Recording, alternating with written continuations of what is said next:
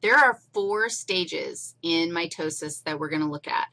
And the awesome thing is that these stages are also in meiosis. So the time that you spend now getting this under your belt will be worth it.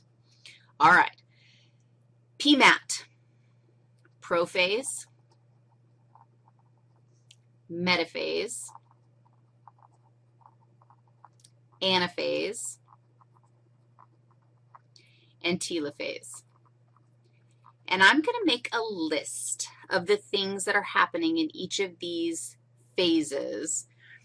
And then what I want you to do is you'll be looking at some images, and then we're going to do another animation where you can watch the whole process happening. But I'm just going to make my list to start with. First of all, visualize what does the cell actually look like in interphase. And in fact, I think I should make a little interphase note.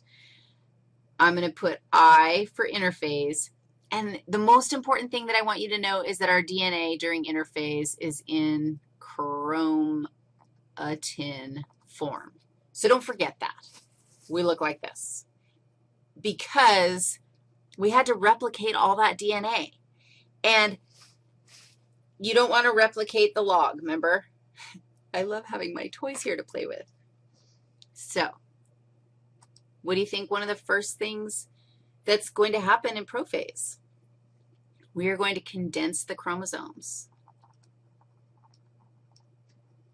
I guess we could say we're going to condense the chromatin into chromosomes. Tell me true, what do my chromosomes look like in prophase? We started looking like this.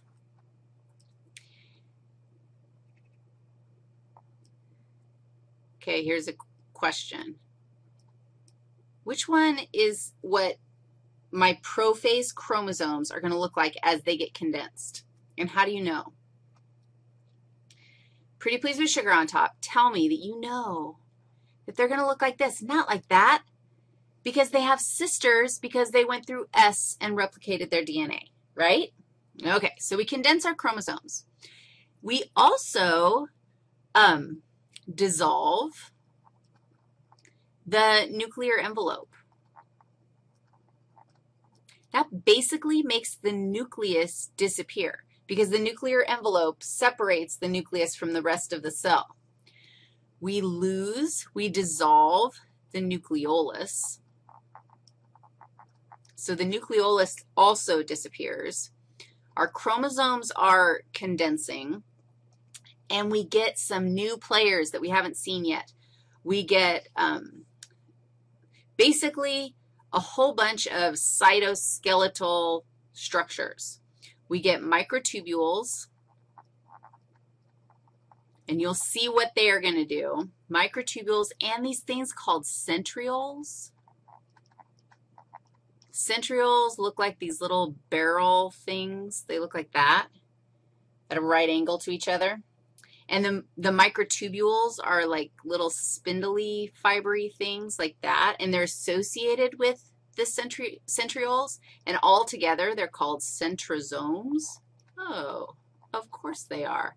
So essentially, here's my centriole, here's my microtubule, and the whole thing is a centrosome. Why would we have those? Well, these things, we actually have two of them. So we have two centrosomes that are um, like developing or becoming obvious in prophase, and they start to migrate to the poles. Centrosomes migrate to poles, to the poles what are the poles?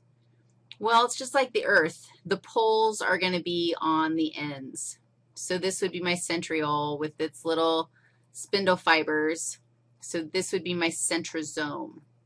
And they migrate to the poles. They start out kind of hanging out in the nucleus, and then as they, um, as prophase continues, they migrate to the poles. Metaphase, first most importantly, the whole thing is a cycle. Drawing a line at each stage is like, really, how do we draw a line at a stage? Because it's going to cycle into the next stage. These microtubules attach to my chromosomes. So look at this. And they actually attach on both sides. So you end up with strings attached to each chromosome. And in metaphase, the chromosomes, the sister chromatids, do you agree with that? Sister chromatids are pulled to the metaphase plate. Metaphase plate. Or the equator of the cell. This is my metaphase plate. So my sister chromatids are like jostled around until they line up nicely in the middle. Metaphase in the middle. That's how I remember, metaphase.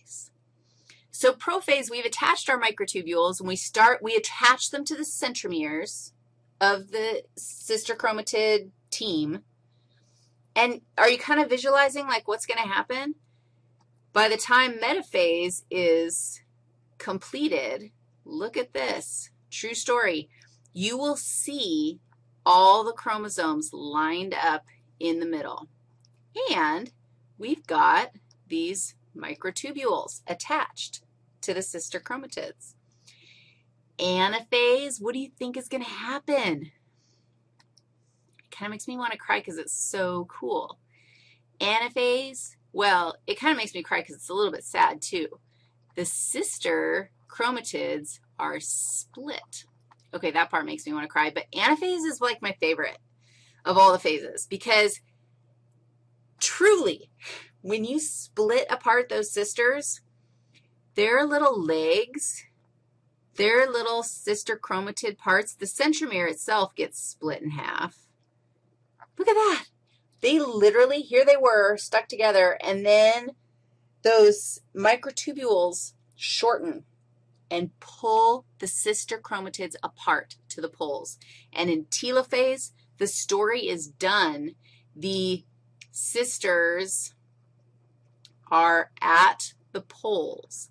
So if you think about it, at the poles, you're going to have a complete set of chromosomes. What? How cool is that? We now have a complete set of chromosomes at each end, and telophase um, reverses prophase. So the chromosomes unravel. The nuclear envelope reforms. The nucleolus reforms. The microtubules disappear. So the whole thing is reversed, and, and you end up with a nucleus on each end.